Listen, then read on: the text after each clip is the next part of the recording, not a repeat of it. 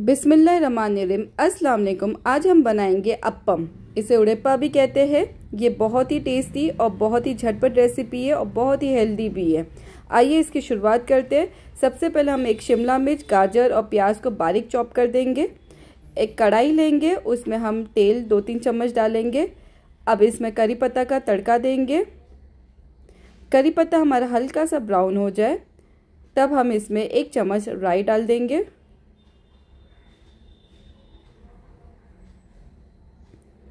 राई हमारा क्रैकल हो जाए हल्का सा भून जाए अब इसमें हम शिमला मिर्च, गाजर और प्याज चॉप किया हुआ डाल देंगे।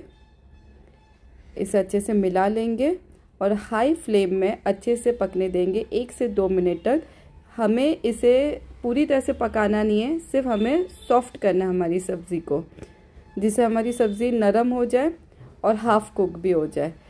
अब इसमें आधा चम्मच नमक डाल देंगे और हाई फ्लेम में एक से दो मिनट तक पका देंगे। ओपन लिड लिड को भी नहीं बंद करेंगे। अगर हम लिड को बंद कर देंगे तो पानी इसमें से छूटेगा, इसलिए हमें ओपन लिड करना है। ये एक से दो मिनट हो गया है हमारा। अब फ्लेम को हम बंद कर देंगे। मैंने एक करीबन 200 या 300 ग्राम रवा लिया है, एक बड़ा सा बाउल। अब इसमें वो रवा डाल देंगे।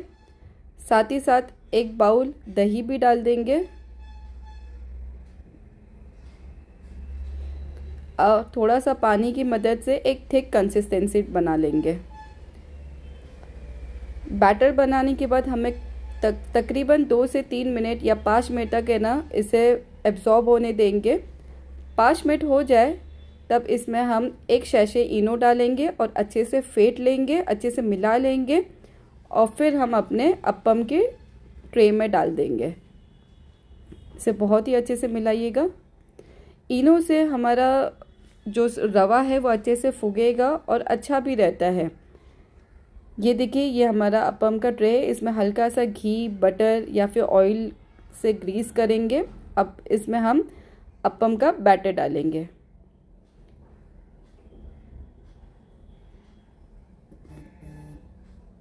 अब इसे मीडियम फ्लेम में ढक के दो तीन मिनट तक पकने देंगे।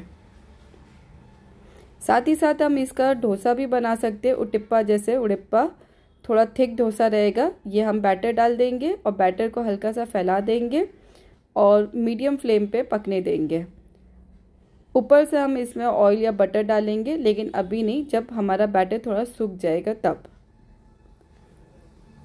ये देखिए, हमारा बैटर सूख गया है, अब हल्का सा ग्रीस करेंगे, अब इसे फ्लिप कर देंगे, दूसरी तरफ़ पलट देंगे। हम इसे एक मिनट और पका लेंगे हाई फ्लेम में। और ये हमारा अपम रेडी हो गया है। आइए हम अपम की तरफ़ जाते हैं।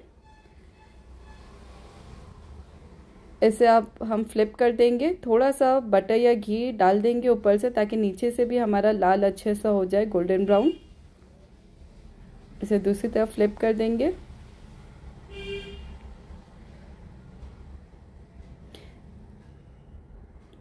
अब इसे दो मिनट तक और पकने देंगे।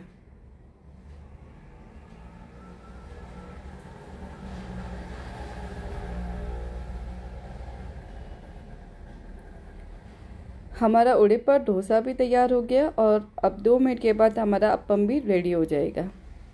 ये ऑलमोस्ट हो गया है। अब इसे हम निकाल लेंगे। अगर आपको मेरी रेसिपी अच्छी लगती है तो लाइक शेयर कमेंट और सब्सक्राइब ज़रूर कीजिएगा।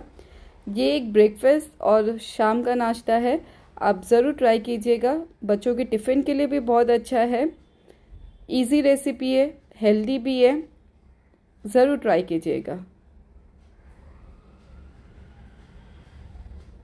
इसे हम नारियल की चटनी के साथ सर्व करेंगे। चाहे तो हम ग्रीन चटनी भी यूज़ कर सकते हैं, पर नारियल की चटनी के साथ इडली, डोसा अपम ये सब बहुत ही टेस्टी लगता है। मेरे लिंक में नारियल की चटनी का रेसिपी भी है आप ज़रूर देखिएगा।